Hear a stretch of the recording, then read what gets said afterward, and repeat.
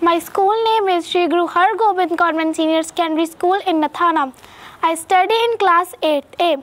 My school teachers teaches us to get the best output not only in academics but also in creativity, team building and honest life living.